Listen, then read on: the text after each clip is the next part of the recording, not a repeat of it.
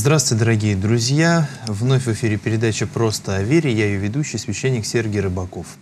В нашей передаче мы стараемся говорить самыми простыми словами о нашей православной вере. Всех вас поздравляю с Успенским постом. И, как я анонсировал в прошлой нашей передаче, э, мы продолжаем разговор о Престой Богородице, о ее почитании в православном мире – о догматах, которые существуют о ней. И беседу мы продолжаем с нашим гостем, с отцом Кириллом Зиминым. Здравствуйте, батюшка. Э, мы с вами в прошлый раз очень обстоятельно так поговорили о источниках, откуда мы черпаем э, информацию о земной жизни Богородицы. Поговорили о некоторых евангельских противоречиях. Вот сегодня хотелось бы передачу посвятить о том, кто для нас она. Вот. И, естественно, наверное, начать разговор бы э, стоило как раз вот символа веры, э, как, опять же, средоточие той догматики, э, ну, то, то, того фундамента, на котором стоит догматика православной церкви, э, символ веры, который читается в каждых утренних молитвах, символ веры, который поется за каждой божественной литургией. И вот удивительное дело, э, в символе веры лишь по касательной мы проходим, э, говоря о личности Престой Богородицы. Мы знаем, э, причем это касается даже не догмата о, о ней, а касается в большей степени о личности, которая была в некую историческую эпоху и которая имела непосредственное отношение к земной жизни Христа, его проповеди, его подвига, э, смерти, воскресения и вознесения. Да? Мы говорим о том, что веруем мы во Христа, э, воплотившегося от Духа Свята и Марии Девы. Вот единственное краткое употребление и э, некое слово о ней. И в связи с этим вопрос, можно ли говорить о том, что мы действительно веруем в Божию Матерь, э, верим в нее вот каким-то, может быть, особым, другим образом, чем веруем в Бога, но действительно здесь вопрос нашей веры. Э, да, вы правы, батюшка. Э, здесь нужно сразу, наверное, расставить все ударения смысловые. Мы веруем в Божию Матерь, мы так можем говорить, но мы должны делать определенную оговорку. Мы веруем в Божию Матерь в, в связи с ее связью с, с Христом. Mm-hmm. То есть мы верим, в чем, на чем основана наша вера в нее? На том, что она родила Бога, родила второе лицо Святой Троицы. В этом ее уникальное значение. И э, э, в некотором смысле, если теряется вера в Христа, то вера в Божию Матерь тогда, соответственно, тоже не имеет какого-то под собой значения. И в символе веры вы правы. Это э, э, в символе веры употребление Божьей Матери, оно показательное, и оно дань определенному историзму. Mm-hmm. Дело в том, что символ веры, мы должны обратиться к истории этого текста, к истории этого документа. Этот документ сформировался в полемике христианства с различными э, лжеучениями. Внутри христианства в, в первые века, как вы знаете, все знают, да, эпоху Вселенских соборов и до Первого Вселенского собора, в доникейскую эпоху, так называемую, христианство было очень сильно э, подвержено внутренним разногласиям, внутренним спорам. Это гностицизм, как такое наиболее яркое явление эпохи до Первого Вселенского собора, до Никейской эпохи, и потом эпоха Вселенских соборов. Это если ее разделить на два периода, это споры вокруг учения о Святой Троице и споры вокруг учения о Христе. И вот этот символ веры, э, единственный, может быть, текст, который э, за богослужением и в составе утреннего правила не является сам по себе молитвой, а является просто неким таким э, э, кредо, да, исповеданием веры, неким э, э, признанием определенных тезисов, которые помогают христианам э, Э, узнать друг друга, помогают самоидентифицировать себя, отнести себя к той или иной христианской конфессии, к христианской ветви. И вот здесь вот, если мы обратимся к истории этого вопроса, то есть э, первая христианская ересь такая, которая возникла, первый спорный пункт, который возник в связи с проповедью христианства в греко-римском мире, это вопрос о воплощении Сына Божьего. И первая ересь — докетизм, от греческого глагола «докео» — «казаться».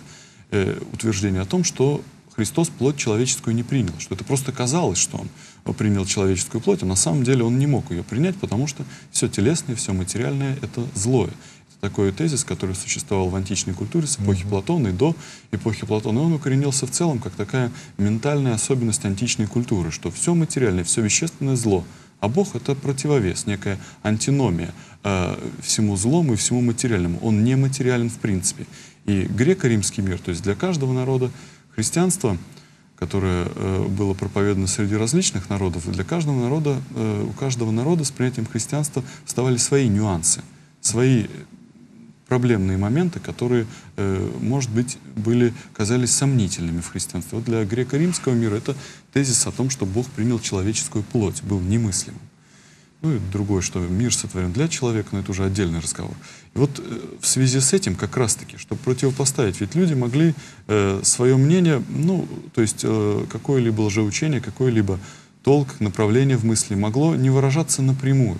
Они могли напрямую, ну зачем как-то привлекать к себе внимание, напрямую это говорить. И вот чтобы это отсечь, чтобы наверняка те люди, которые собрались для того, чтобы преломить тело и кровь, ну, то есть преломить для преломления хлеба, для евхаристического общения, эти люди должны были друг другу показать, что у них единство веры. И вот в связи с этим они проговаривают вещь, что Христос, вы человек, э, э, воплотившегося от Духа Святой Марии Девы, воплотившегося, что Он принял плоть от Марии Девы. Что здесь прямое указание, что раз Он родился от женщины, значит, он был телесный, значит, он был плотский, значит, он был, имел настоящее тело. То есть есть историческая привязка к определенной исторической женщине, которую мы считаем девой, преснодевой, от, от которой он получил свое э, земное, био, скажем так, биологическое существование. Повторюсь, это было важно для первых христиан. Сегодня уже это споры вокруг этого вопроса давно сданы в архив, но тем не менее вот для нас э, э, эта привязка указывает нам на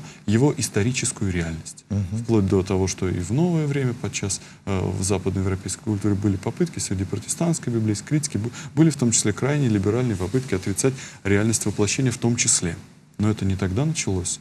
Это э, классическое заблуждение первых веков христианства, с которым полемизировал апостол Иоанн Богослов. Вы все хорошо вспомните слова из первого послания апостола Иоанна Богослова. «Всяк дух и же исповесть Христа во плоти пришедшая от Бога есть, и всякая же не исповесть э, не от Бога, а антихристов». Вот видите, это даже есть в таких вот э, самых ранних книгах Нового Завета. Вот, то есть это шла жесткая полемика вокруг этого. Вот Иоанн Богослов и говорит, что вот так надо различать. И только много позже это вошло уже в такой вот согласительный документ для придания, подчеркивания историзма угу. и реальности воплощения Христа. Ну и тогда э, все-таки встает вопрос о некой догматике. Все-таки у нас есть определенные эпитеты, которыми награждена Пресвятая Богородица. Ну вот элементарно термин, который от нее как бы не отлучим, да, Пресвятая Богородица. Э, термин Приснодева, э, Царица Небесная – вот давайте, может быть, насколько нам позволит время сегодняшней нашей встречи, э, коснемся их. Ну, в первую очередь, конечно же, преснодевство, да? да? Потому что в первую очередь э, оно вызывает недоумение, в частности, например, у иудейского мира, у исламского мира. Как это вообще человек может родить человека э, без участия мужчины хорошо, но как после этого сохраняется ее девство? Вот как мы понимаем вот этот вот э, термин, абсолютно, вернее так скажем, не только физиологический, но и э, термин, который касается морально-нравственной жизни Богородицы, термин преснодевства. Да, действительно, вот этот э, в любом случае, как любой религиозный догмат, это предмет веры. Здесь какое-то рациональное постижение, постижение его на все сто процентов невозможно любое рациональное постижение до конца превращает уже религию в некую философию, в некую систему знаний. Религия всегда и основа религиозного отношения человека к Богу называется верой, то есть принятие каких-то тезисов на веру. И вот один из таких действительно э, камней преткновения здесь, кроме учения Святой Троице, да, как Бог у нас един, но в то же время в трех лицах. Второй момент — это рождение Христа от Девы, как она осталась Девой. Ну, вот термин «преснодевство», да, что, он подразумевает собой, то, что она была Девой до Рождества Христова, во время Рождества Христова и после Рождества Христова осталась девой. И вот здесь э, очень интересно, э, вот с одной стороны нам непонятно, а зачем так? Зачем Богу оставлять эту девственность? И вот кажется нам такой, ну просто, ну, некий такой красивый жест, вроде, что вот Бог вот взял и оставил ее девственницей, за ее чистоту вот так наградил. Вроде красивый жест, и все, никому не понятно, но люди восхищаются этим. Угу. Но не только в этом причина, это будет сильное объединение сильное сужение э, проблемного поля этого вопроса. Здесь интересно, э, э, те, кто знакомы с азами христианского богословия, знают о том, что Христос часто у богословов ранней церкви называется вторым Адамом. Христос, он некий такой второй Адам. Он делает все то, что сделал Адам, но делает это правильно. Он восстанавливает Адам, он выправляет, изменяет первозданного Адама. Есть такой богословский термин принцип рекапитуляции, то есть э, или повторения. Христос, как новый Адам, все повторяет за Адама, но повторяет это уже правильно, не имея порока, повторяет это так, как должно было. То есть Божий замысел был о человеке один, а человек, ввиду того, что он был наделен свободной волей, по факту поступил немного иначе. И все пошло не так, как Бог об этом хотел бы, не, не, задумал. не так, как это было задумано. И вот здесь вот Христос, как второй Адам, все исправляет. И здесь интересен комментарий человека, жившего в IX веке, святителя Фотия, патриарха Константинопольского. Вот в связи с вот этим богословским принципом рекапитуляции, повторения, он э, проводит такую аллегорию, такую параллель проводит. Говорит о том, что как первый человек Адам был, родился без мужского семени и от девственной земли, то есть от земли, которая ну, была новой, свежей. Угу. И создал Господь Бог человека из праха земного и вдунул в лице его дыхание жизни, говорит книга Бытия. То есть двусостав, э, двусоставный акт творения человека. С одной стороны тело от земли, а с другой стороны дыхание жизни. То есть с одной стороны родился без семени, Адам имел своим отцом кого? Бога, конечно же, как том, в том смысле, не в том смысле, в каком Христос имел э, э, э отцом э, своим Бога, а в, в том смысле, в каком все мы люди называем Бога своим отцом. Христос имел своим отцом Бога, вернее, Адам имел своим отцом Бога, и родился без семени мужчины от земли. Часто земля очень называется, э, вы знаете, в многих параллельных библейской культуре, в вавилонской культуре, в шумеро-акадской культуре. Э, женщина часто отождествляется, плодородная почва, да, отождествляется женщиной. Все земледельческие культы, они сопровождаются оргиями, какими-то э, такими сексуального рода действиями. Вот здесь вот тот, тот же самый принцип, что Хри Христос рождается от девственной природы, от девственной чистой природы. И здесь он именно как второй Адам – он должен родиться с одной стороны. Если мы смотрим на э, события рождения Христа как на принцип повторения творения человека, на Христа как на нового Адама, как на новую тварь, обновленную, то мы в связи с этим э, э, должны увидеть два условия, какие есть у Адама, mm-hmm. они должны повториться во Христе. То, с одной стороны, должен родиться без семени мужчины, а с другой стороны, как Адам появляется из девственной чистой земли, также появляется из э, чистой девственной Э, ткани, утробы, как говорит наша гимнография, называет это тканью, uh и ее э, утробу, которая, в которую, которая биологически дала жизнь Христу. И вот в этом, поэтому сохранение ее девства — это не только некий такой красивый, благочестивый, благородный жест. Это еще и необходимые условия для, э, для того, чтобы увидеть Христа как второго Адама, для того, чтобы Христос был э, в полноте полностью на самом деле был неким, таки, неким вторым Адамом, mm-hmm. который восстанавливает дело Адама. И вот в связи с этим, это наиболее такой богословский, наверное, нагруженный термин, каждый аспект вот, э, прозвучавших, э, каждый фрагмент вот этих слов, которые здесь прозвучали, он требует особого исследования, особого рассмотрения. Те, кто из наших слушателей, если кого-то это заинтересует, то есть все это можно этим интересоваться подробно и отдельно, вы э, многое для себя откроете. Но вот сейчас вот как раз подчеркнем, что термин преснодевство имеет не просто такую, ну, такое некое красивое и благочестивое, традиционное э, значение, но и э, глубо, вскрывает глубокую богословскую проблематику, заложенную древними отцами церкви в него. Вот. Ну и еще мне бы хотелось, наверное, добавить, потому что очень часто э, вот то, что вы сейчас, батюшка, сказали, это из плоскости возвышенного и духовного, да, так скажем, да, высокое богословие, а люди очень часто приходят и задают, ну, так скажем, из плоскости Земли этот вопрос, а как же вот чисто, на чисто физиологическом уровне? Э, по-моему, если мне не изменяет э, память, э, Семен Новый Богослов, размышляя на эту тему, э, сделал интереснейшее замечание. Он сказал следующее – Э, физиологическом плане, физиологическом, э, Богородица перестала быть девой после рождения Христа. Но разница лишь только в том, что для того, чтобы женщина перестала быть девой, ее этого девства лишает муж, вот, э, так сказать, извне вовнутрь входя. Вот, э, в, случае Престой Богородицы вот этого девства не лишив да, опять же, мы об этом еще раз э, уточнив скажем, Вот. Но э, вот, разрывая плеву, да, то есть выходя из э, нее в мир, вот, э, то есть это в этом уникальность э, ситуации, в этом э, ее парадоксальность. Но Семен Новый Богослов был очень смелым э, святым отцом, вот, э, иногда себе по позволял размышлять на те темы, которые наше стыдливое сознание привыкает не размышлять, табуировать, как да, табуировать и, и дел, делать как-то э, такой запретной зоной.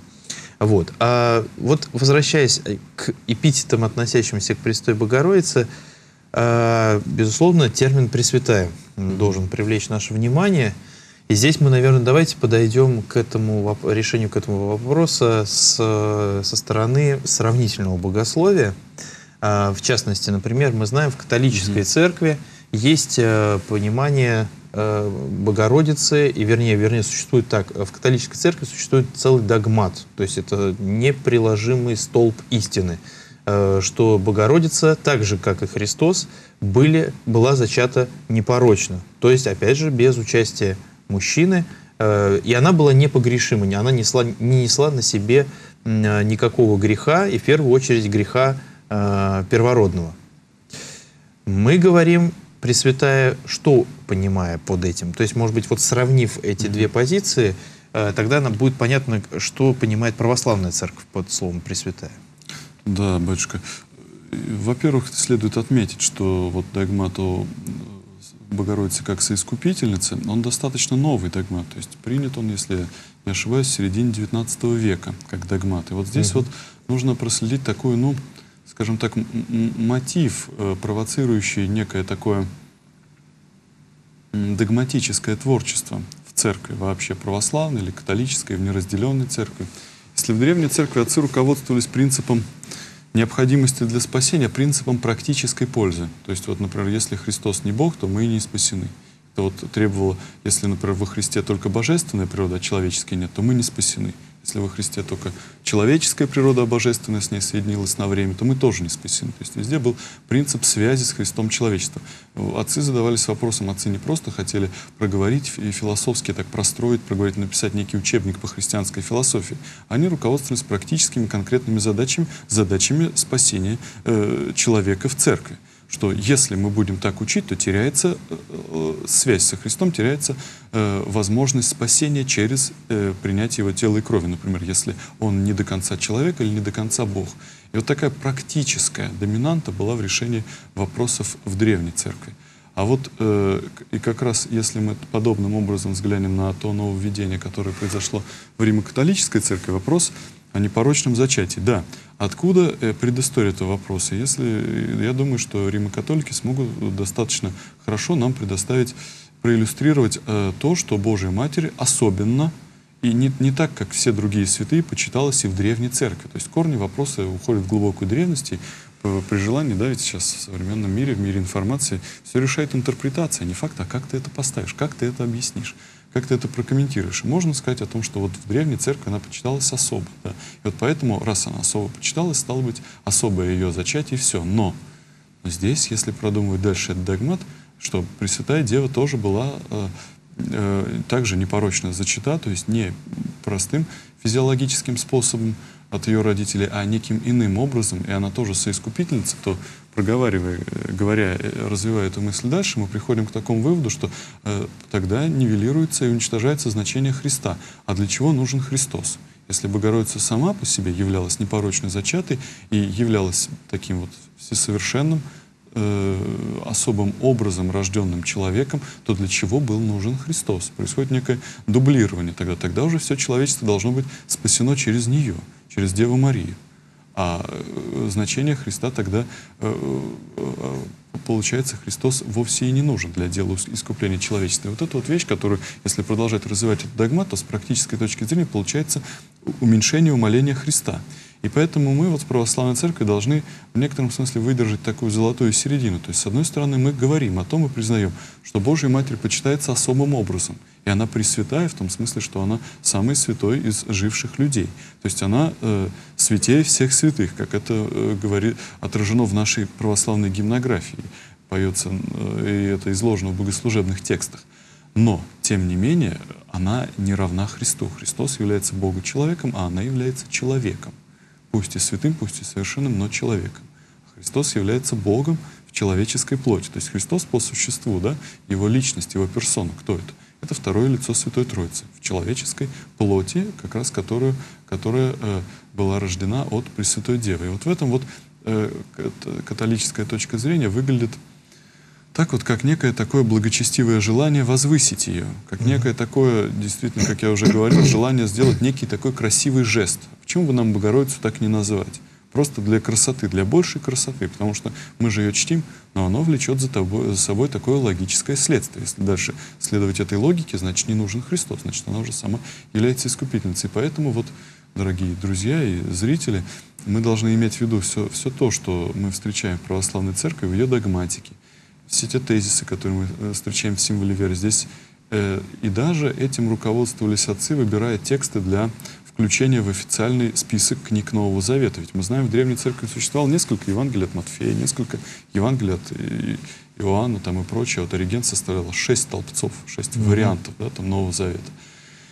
Э, все то, что сейчас в церкви является ее официальной документом, здесь нет ничего постороннего, здесь нет ничего практически ненужного. Любая буква, любая йота или черта, все это обусловлено практическим значением для человеческой жизни. Поэтому если мы говорим о Пресвятой Богородице и называем ее Пресвятой с одной стороны, но отвергаем ее непорочное зачатие с другой, то это и то, и другое нужно, и то, и другое является необходимостью. И согла согласовать, как-то примирить эти две антиномии будет уже ошибкой. Это для тех, кому это, кого это заинтересовало, кому показалось это интересным, это путь для вашего дальнейшего самообразования. Сейчас какой-то проблемы к доступу к информации нет, все это вы можете самостоятельно изучить. Но это дело уже другого. Для этого нужно другое время, для того, чтобы останавливаться на этом подробнее. Э, время нашей передачи подходит к концу. Уже я просто не, не рискну задать вопрос, э, потому что он будет требовать достаточно обширного ответа. Не хочется его так вот сжимать. Я единственное, наверное, для наших телезрителей поясню. Вот сейчас они где-то там сидят, каждый на своем диванчике или кресле, или как-то, и вот и думают, а зачем нам вот это все знать? Для чего вот э, вот вся эта информация нам поступает? А зачем вот эта вот теория?